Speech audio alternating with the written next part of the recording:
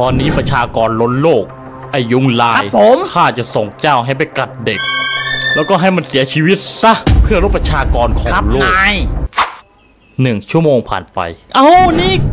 กูถ่ายแล้วเหรอวะเนี่ย เอ้า้แล้วมาได้ไงเนี่ย ข้าบอกให้ไอยุงลาย มันกัดแค่เด็กนะ เอ้าแล้วไหนท่านเทวดาบอกว่าให้ไอยุงลายอะมันกัดแค่เด็กไง เออข้าก็แซวมันไปอย่างนั้นแหละ เออเดี๋ยวข้าจะโทรเรียกมันมาพูด ฮัลโหลไอยุงลาย มาหาข้าเดี๋ยวนี้นะ